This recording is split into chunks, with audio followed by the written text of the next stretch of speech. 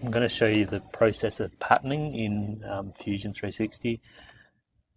This is a little project with the uh, wheels of a Formula One car. So um, if I look at my parts list, our, our fi final um, assembly is going to be a little toy car. Um, I want you to be creative with your wheels and um, patterning is a good thing to be able to do with, with this.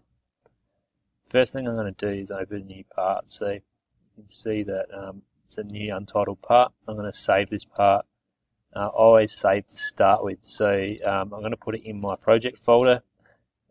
We want all our components to end up in our project folder. So I'm saving this one to here 8, 8 2020 and I'm going to save it as wheel. We only need to make one wheel and we're going to duplicate it four times. So we only have to do this once. You might want to give it a go a couple of times um, and choose your best one to duplicate four times. Working from the plan, we're going to start um, with this um, this outer size. So we're going to draw the first one um, 34 and we're going to go 26 um, as the extrusion. So circle 34, 26 for the extrusion. Create sketch, select the front plane, circle, a sketch from the center of the origin, we're going to put the dimension on 34.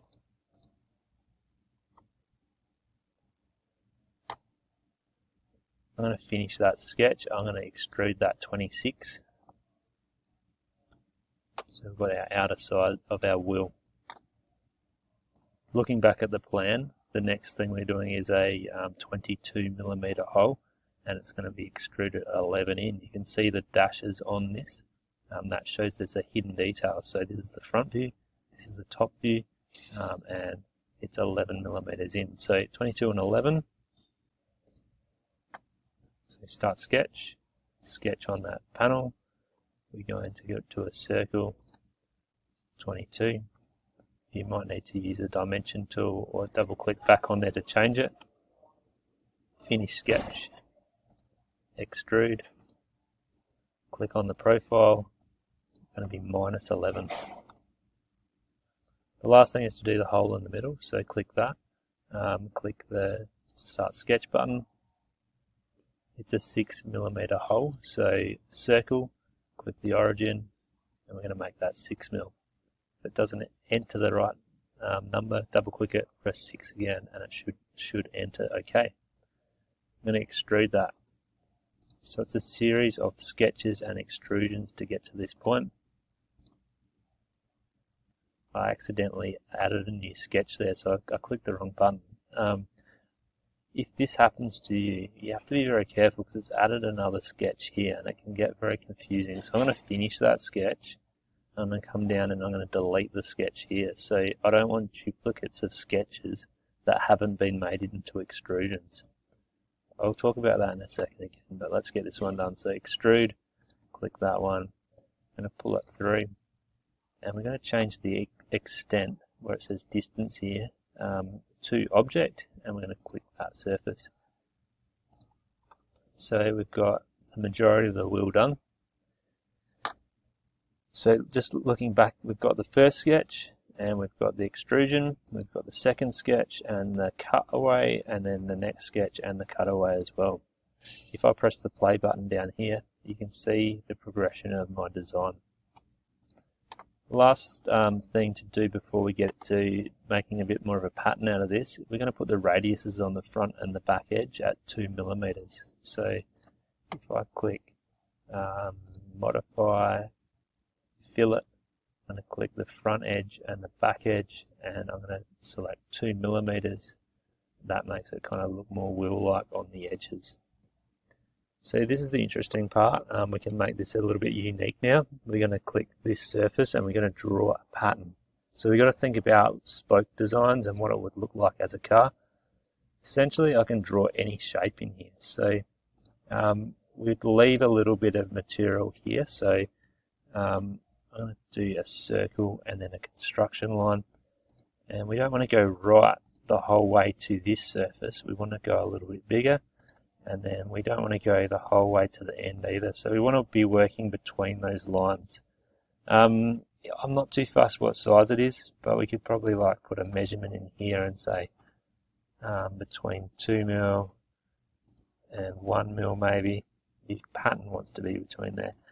You could go down to 1. That could look cool. Let's have it play and see what it's um, going to look like. So um, tick un unselect, deselect um, construction and I'm going to do a line here. So um, I'm going to do something really random just to show you that it can work even if you don't put much thought into this. So I'm going to do that. I haven't really thought about this. It's just a completely random shape. Um, make sure they're all kind of connected together so I can see it's a profile, finish sketch, extrude,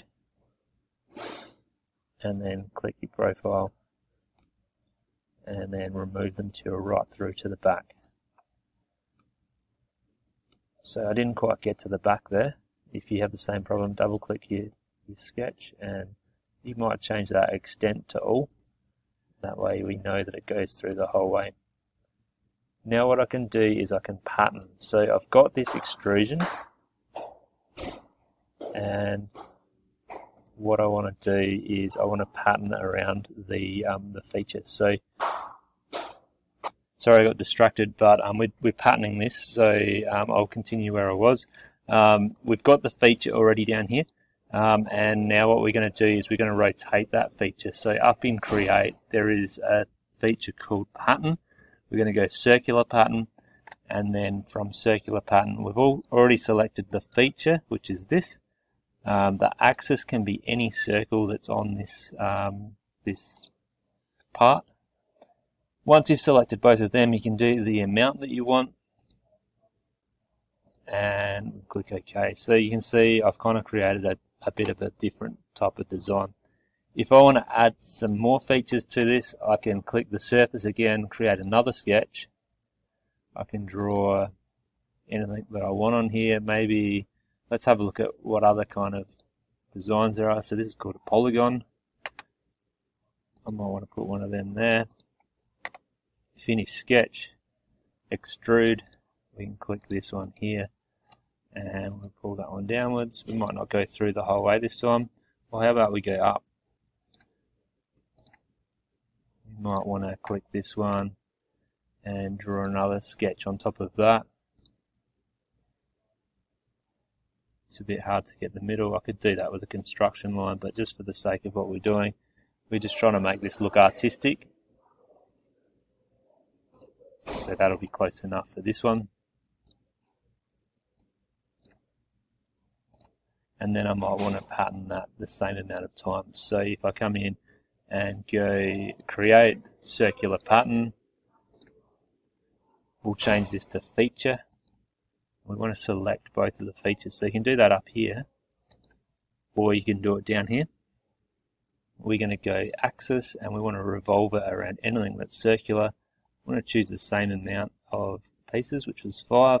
Click OK, and that's rotated around that. Now, I don't really like my design, but you can have a bit of a play with um, being creative, make them look as well, um, kind of realistic for a wheel as possible. I'm just going to do another demonstration. So I've drawn another sketch. We'll see if this one works out any better. So this is just me problem solving, having a bit of a play with different ideas. I haven't fully constrained the sketch, so I mean, you probably would want to put some measurements on here to lock lock it in and make sure it's all even. But I'm trying to do a quick demonstration. So um, I've got that kind of V drawn up with some um, construction lines. I've got my profile. I'm going to go extrude and I'm going to click this one. Now, there's one more feature here with the extrusions, which we haven't really talked about. You can do a, um, a taper angle. So say if I put um, 20 degrees in here, and then I cut inwards, um, I'm going to change it to minus 20. You can see that it kind of tapers in to a point. So you have to kind of stop before it goes too far in, but um, if I click OK on that, see it kind of tapers in like a, a cool little V. Um, let's see if I can rotate that pattern. So um, create pattern, circular pattern. I'm going to select the feature. We're going to revolve the feature around a object. I'm going to pattern this quite a few more times than the last one. I think 9 looks quite good for this, this design and you've kind of got a cool rim design. You might also want to put a chamfer on a couple of pieces here, so create, sorry, modify chamfer. Um, I'm going to click chamfer on this one, this one, and this one. Let's just try one millimeter to start with. Might be a little bit too much, so maybe 0.6 um, for this project. It's just making them look cool. Um, we might want to do, we might want to um, kind of uh, just keep playing until it looks as cool as possible, but um, don't worry too much about being technical.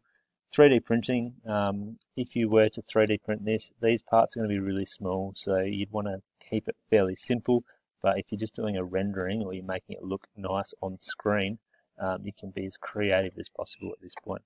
Hope that helps you decide on your wheels. Um, give it a go, be creative.